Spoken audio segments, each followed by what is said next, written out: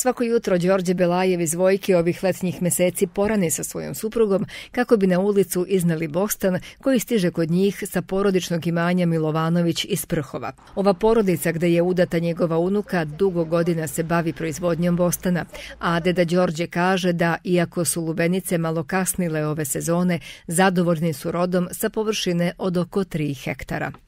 Teren je Prhovo, to je najpogodnije možda tlo za lubenicu. Kod nas to teško ide, ali tamo je zapravo. I Boga mi da znaš da je velik ulog. Velik ulog na lubenicu, ali ako bude ovako da Bog da sreće, možda ćemo proći dobro. Ima više vrsta lubenica, ne znam, ljudi navikli su na crne lubenice i bojčani većinom kupuju crne. Dok ovi sa strane ko prođe, oni kupuju ove šarene. Leto je nezamislivo bez lubenice koja je rashlađena i slatka predstavlja pravu poslasticu.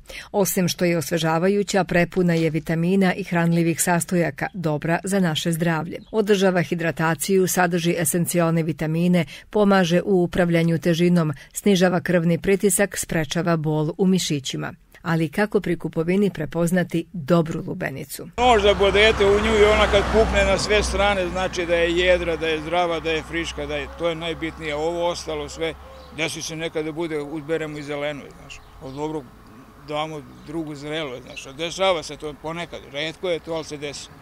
Ali to, je, ali to je najbitnije da, da bude, kad je zabodeš nož, da ona pukne, da znači da je jedrina u njoj. Uz lubenice koje prodaju po 30 dinara, u ponudi imaju i dinje čija se cena kreće oko 70 dinara, a najbolju reklamu za proizvode uradio je sam Đorđe Belajev koji je napisao Lubenice i dinje slatke kao tuđa žena.